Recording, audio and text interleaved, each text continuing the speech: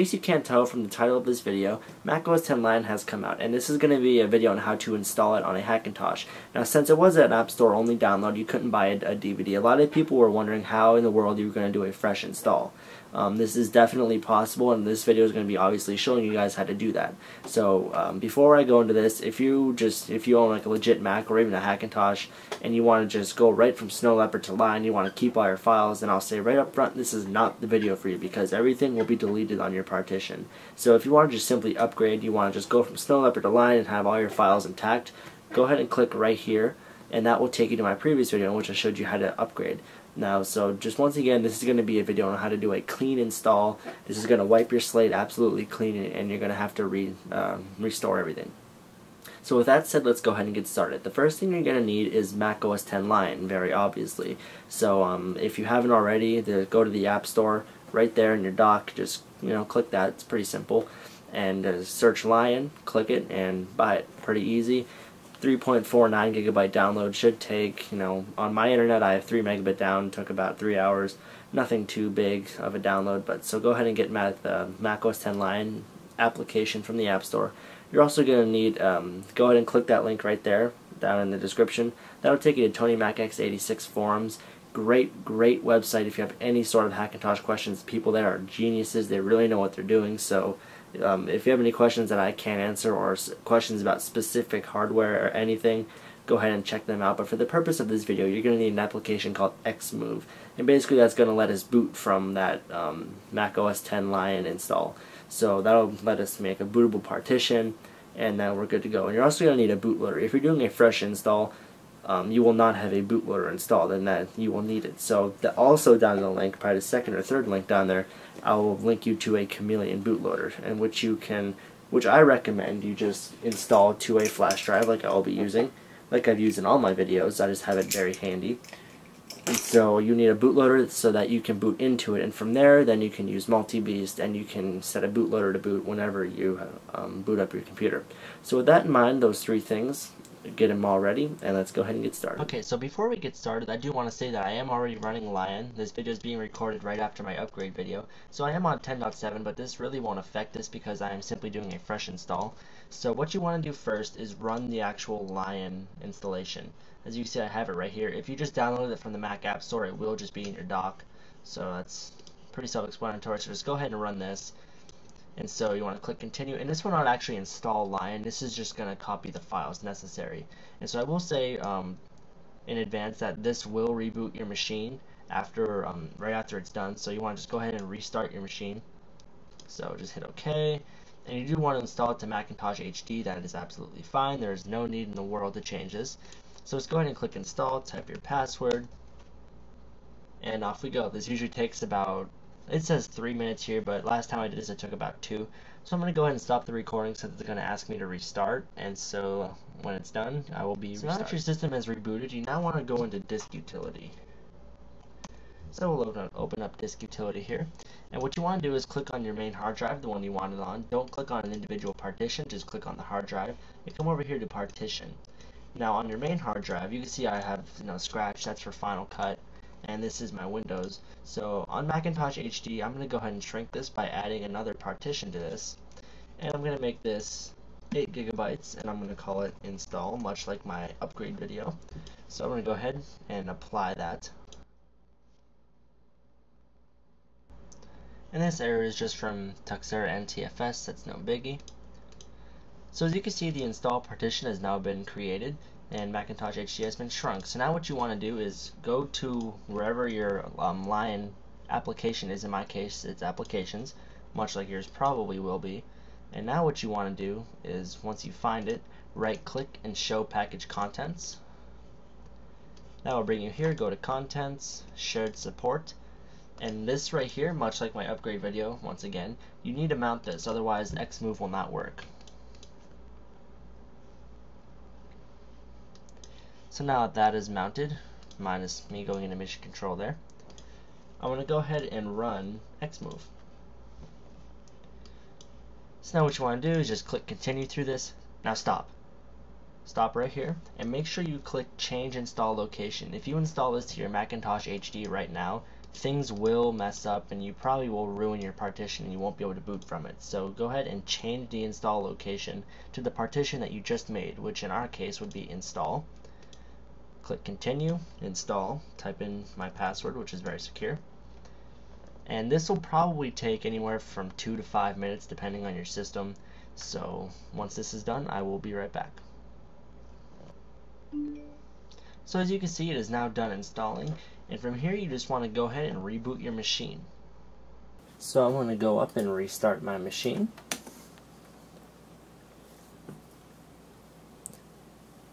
And she is now restarting. So now what you want to do is, much like the upgrade video, is once you get to your bootloader, you want to interrupt the automatic boot and you want to boot from the install partition. So what Xmove basically did was it just made this partition bootable. It took the files right out of the install ESD and put them on this partition so that you could boot from this partition and install it from here much like you would just a DVD or a flash drive. So um, here's the bootloader. I'm going to go ahead and hit a key and that takes me here. And as you can see, my install partition is now there along with my other ones. There's Windows and my backup drive. So I'm going to go ahead and go to install and hit enter. And it's as simple as that. So now I will go ahead and zoom out of here. And we get the Apple logo. And this should only take a few seconds to boot. It's really not going to take long. If it was a DVD, it would probably take a lot longer. But since it's on a hard drive, it has faster uh, read speeds. So this will only take probably a few seconds. And as you can see, it has now booted. And I now have my mouse in hand. I'll zoom out a little for you guys. And here you go. So as you can see, here's all the scrolling languages. I'll go ahead and zoom into this for you guys. So I'm going to click this little arrow here. Continue. Agree to the terms. And so now I want to, if I, if you just wanted to upgrade, then you go ahead and click that, the whatever hard drive that you have Snow Leopard on, and there you go. But so instead we want to do a fresh install. So that involves us coming up here, zoom out for you guys a little bit, up here to utilities. We're going to open up disk utility.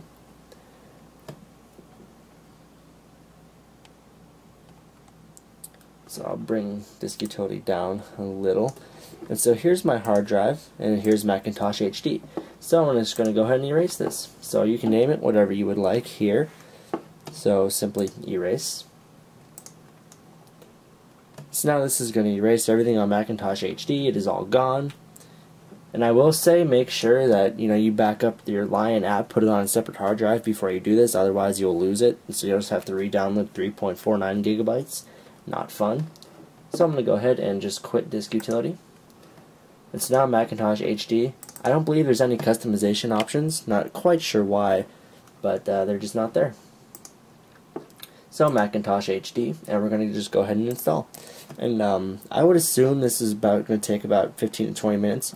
As you see there, it says now 19, but it did say 20. Now we're down to 18.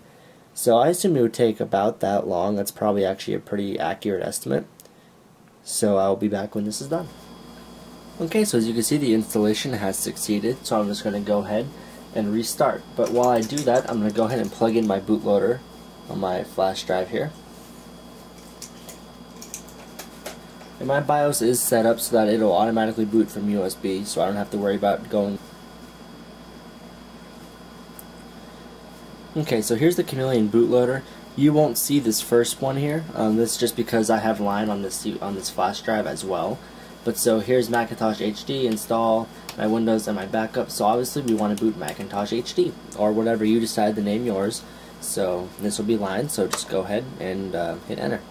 And this won't look very pretty. This won't be you know the, the standard Apple boot logo. This is kind of like a verbose boot. It just shows you what goes on behind the scenes of that beautiful boot logo but we are now booting into Lion. So, I mean, don't be scared about any of this stuff. If you don't know what it means, that's fine, because to tell you the truth, I don't. I don't think many people do. Um, this is all just, I mean, it does change with every boot as well. I mean, a lot of the stuff will be the same, but, you know, in a different order or something. So, if you don't know what something failed means, and don't worry about it at all. It's really nothing to worry about, so don't let the screen scare you. And because I booted with that um, bootloader, I will not have graphics drivers. So this really won't be optimized, but as you can see, um, the welcome screen is here. So I'm going to go ahead and click continue. I'll go ahead and zoom into this for you guys. Continue again because I do have a US keyboard. Here's my um, internet. My Wi-Fi is working out of the box, so I'll go ahead and set this up, type my WEP key. Okay, so I'm going to go ahead and click continue. I do not want to transfer anything. I'll go ahead and enter my Apple ID. Okay, so setting up my account. Need to take a picture. Uh, penguin looks pretty nice. And so it has my uh, time zone all set up. Continue, and I'm going to start using Lion. Sounds fun. So like I said before, my system is by no means optimized at all. As you can see, I have a horrible resolution. Right, so basically what I want to do is I want to run MultiBeast. That's going to be the, the big fix to all of our problems. So I'm just going to go ahead and I'm going to go to where I have MultiBeast. This is also in, in the description. Um, it's right on the Tony Mac X86 forums. Very easy to find. Just search for it. You'll find it. So OS 10 stuff, MultiBeast. The newest version at the point at the time of this recording is 3.8. So I want to go ahead and click continue. Continue. And this will change on every single system. I mean, it really all just depends on your hardware. So, I mean, don't take exactly the same things I'm doing here, but um, just make sure that you know what you're doing in terms of, you know, what your hardware is and everything. So just, like I, like I said, you really have to do your research here. So I'm going to go ahead and come back here because I do have a DSDT. Okay, so I'm going to do user DSDT. Kex and enablers. I want my audio is those two, disk, JMicron,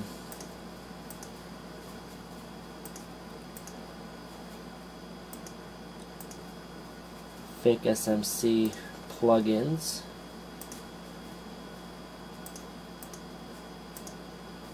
Okay, we'll do USB 3.0 because my motherboard does support it.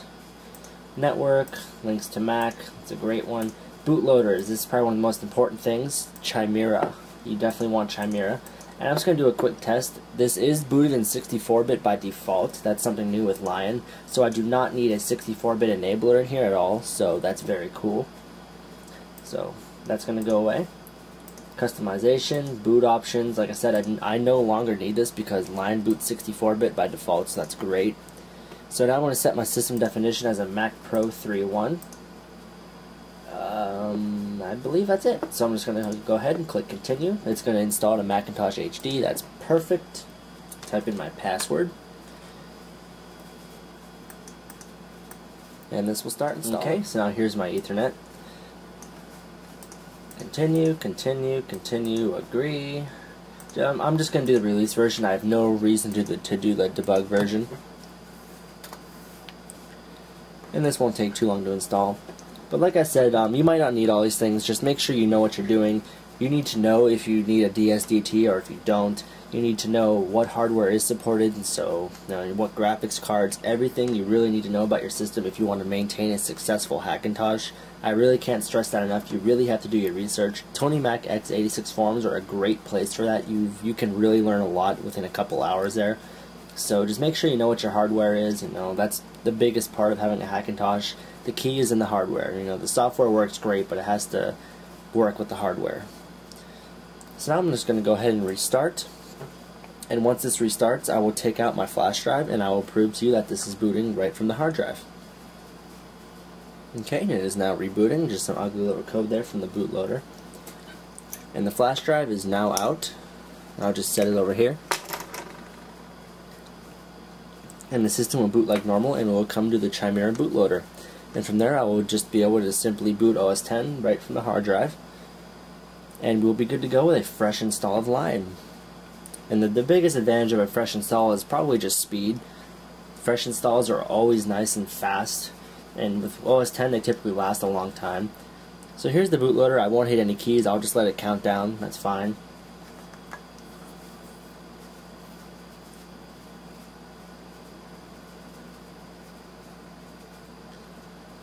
Alright, so there's the Majestic Apple logo.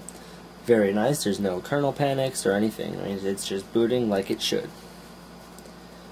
I think Mac OS 10 Lion, in terms of the bootloader, is much more stable than even 10.6.8 was.